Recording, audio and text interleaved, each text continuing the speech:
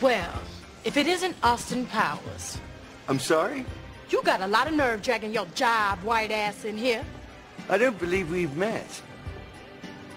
It's me, Foxy. Foxy Cleopatra. Long time no see. Oh. Stop. We can't be seen talking to each other. You did? I'm using this cat as a distraction. I get it, yes. Very clever. First things first. Oh! Ouch, kabibble! Eight years and no phone call. Nobody stands up, Foxy Cleopatra. Where have you been? Listen, Foxy. I just want you to know I never intended to hurt you, baby. Well, all I know is Mama only got a taste of honey. But she wanted the whole beehive. oh, beehive. You always knew how to make me smile.